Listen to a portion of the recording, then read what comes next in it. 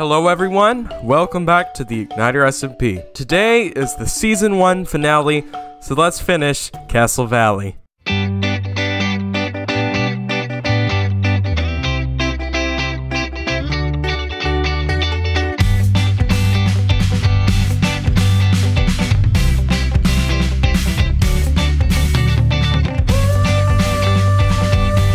Surprisingly, 55% of my viewers aren't subscribed.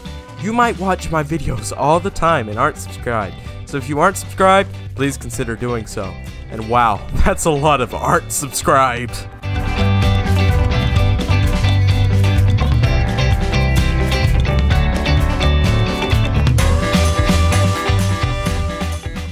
And Castle Valley is complete. After a few months of hard work and dedication, we have a completed town, and I couldn't be happier with it. Correction, I could be a lot happier with it if I had more time. Because if we fly up in the air, you see here, this is empty. It, the original plan was for this to not be empty. There's some paths that are unfinished, but in reality, I don't have time to finish it. Because maybe I did push recording this to the last minute. And if I had more time, there would be a lot of things that I would do differently here. But this is the season 1 finale, so I just don't have time for it. Now, what is my favorite part of this area? Well, my favorite part would definitely have to be this ruined castle sitting right here. I would have loved to be able to do more with this, but once again, I just ran out of time. And this ruined castle is a great example of something that I believe in for the moment builds. As this was not planned, I just had an idea that I wanted to build a ruined castle and I did it and I love it. But you know what I want to do now? I want to take some time and I want to pull a montage together of everything I've done this season. Builds wise, that is. So anything I built this season, you are going to see right now.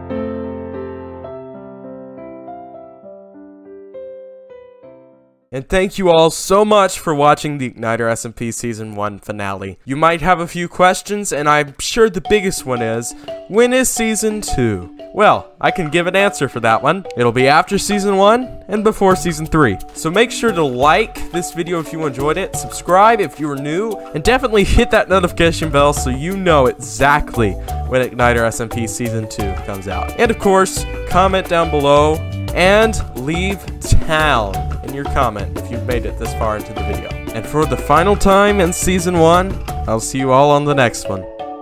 Goodbye.